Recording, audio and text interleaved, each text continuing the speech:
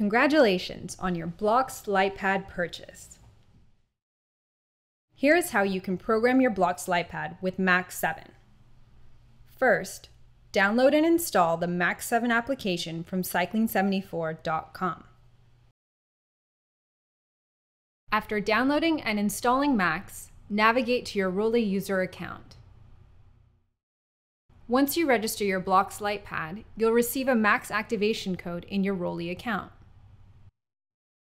You can activate Max for three months with this code when you log into your Max 7 account online. When you activate Max, you will also make a Cycling74 user account.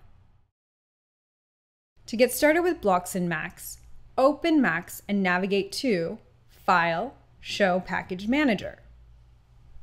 Open the Package Manager and look for the Blocks package. Click the Install button.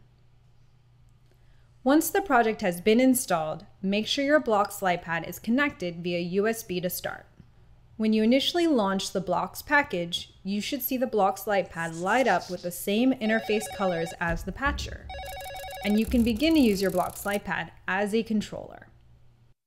Explore the help files and examples to get an idea of Blocks programming in Max.